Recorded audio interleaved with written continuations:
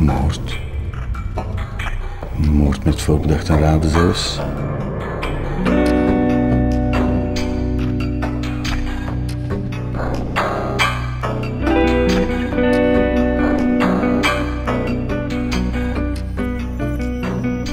Ik weet niet meer hoe lang we onderweg waren, maar het leek wel eeuwig sinds de dood van Jeremy.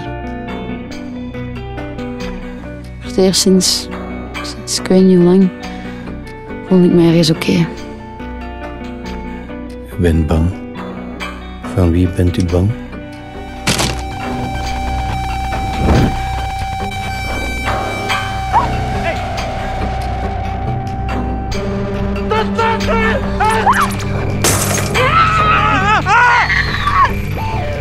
Als je dit niet doet, is alles voor niks geweest. Hè?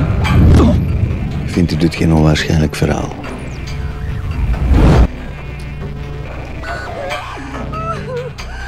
Hij weet dat de mama haar kind niet zonder vermoord.